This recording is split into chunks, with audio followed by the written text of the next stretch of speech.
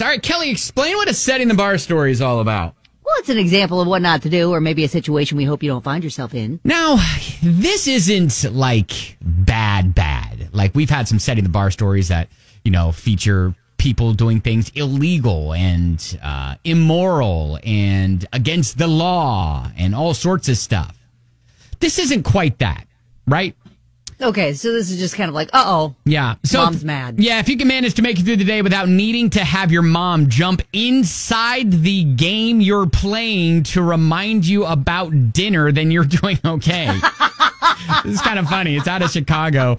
Uh, this mom, she was trying to like call her 11 year old daughter when her daughter wasn't picking up the phone. She realized because I, I she could figure it out, but she realized her daughter Mira was playing Roblox. It's a popular gaming platform, right? Oh boy, yeah. And so she decided to jump inside the game, find her daughter in like a sim world, and, and literally say, "Take And like the type type a little message to her. yeah, take the lasagna out of the freezer and garlic bread so I can cook it." So she found her sim in the game and approached her.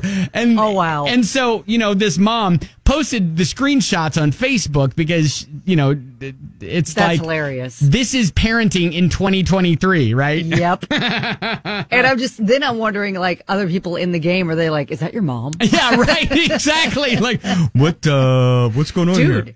Is that your mom? Uh, yeah. Take the lasagna out of the freezer and the garlic bread because we want to eat it too. That's Uh, great. yeah, sounds delicious. We're coming over. So, anyways, like I said, not anything illegal, immoral, or against the law here, but But y- that's so like right now. That is Mhm. so life with a preteen right now. for sure. Uh, meet them where they are, I guess, right? So if you can Yep. manage to make it through the day without, listen, if your mom is calling you, answer the phone, all right? Exactly. Don't make your mom jump inside the gaming uh, world that you're in to remind you to take dinner out.